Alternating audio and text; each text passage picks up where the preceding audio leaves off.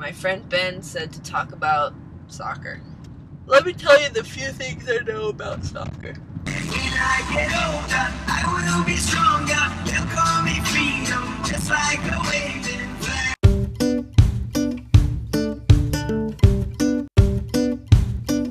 We're gonna shuffle this iPod on the way home.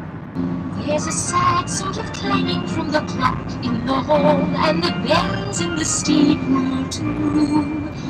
And I Tick-tock! even know Glee, get off my iPod.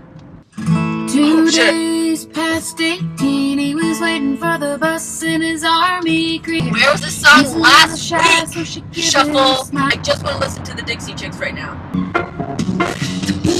to be right as a remix, but It's like a fucking recording studio in here. It's like this is like officially the most boring thing I've ever done in my whole life.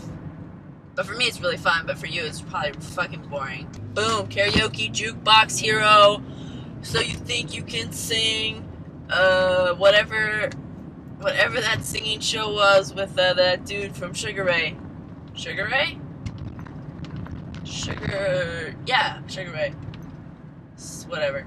Uh, yesterday was day 41. It was a Monday. It was Bones and Castle, obviously. I'm I'm also currently working on a list of everything that I missed, just so I can one fact check, because I've been doing this for 41 days and I haven't once double checked anything I've ever said. So like, have I missed 48 hours of tele? Oh shit! I did today. I think that sets me at 48 hours of television.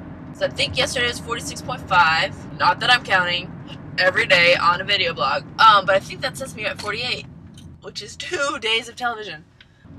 I was like, oh, cool, yeah, after Easter I'll just stay in bed for two days. But the two days after Easter are Monday and Tuesday, because that's how weeks work. Guess what? I work then. Because guess what? The world sucks. And being adult is stupid. Hold on to 16 as long as you can, because changes come around real soon that make us women and men. There it is.